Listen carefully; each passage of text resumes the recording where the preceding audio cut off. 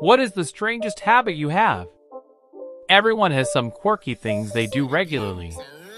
And while it's not exactly a deep, dark secret, it's probably something that they haven't admitted to a lot of people. Sharing small, slightly embarrassing things is a great way to build trust. 2. What movie made you cry the most? With this question, you can see what types of things tug at her heartstrings and possibly how often she cries at movies. And if you've seen the same movie, you can talk about it. Or if you haven't, you can ask what she found so touching about it. 3. What is the most embarrassing thing you own? Definitely a very personal question, but hey, you are on a page titled Personal Questions to Ask a Girl.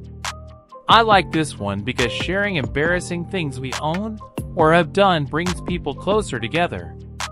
4. What do you hope you grow out of? We all change as we get older. And we all have habits or quirks in our personality that we wish we could get rid of. With this question, you can find out what things she hopes to shed as she gets older. 5.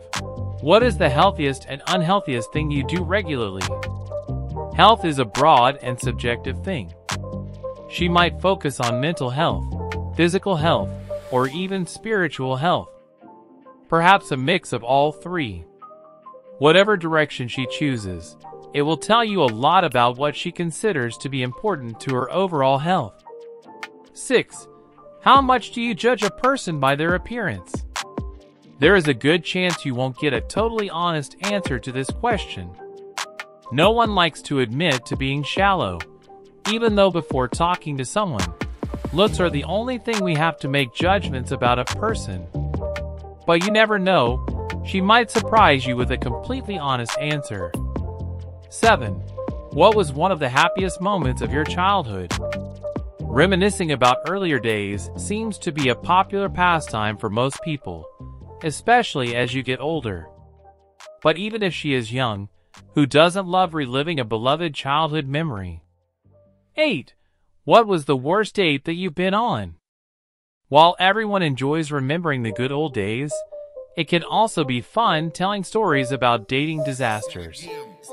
Chances are that she has some good stories to share about dates that turned into train wrecks. You've probably got a few stories as well. It's all part of the bittersweet process of dating. 9. What's your favorite vacation memory from when you were a child? Or childhood memory? Sure, why not? Talking about fond memories is a great way to foster a positive atmosphere. And what is more fun when you are a kid than vacation?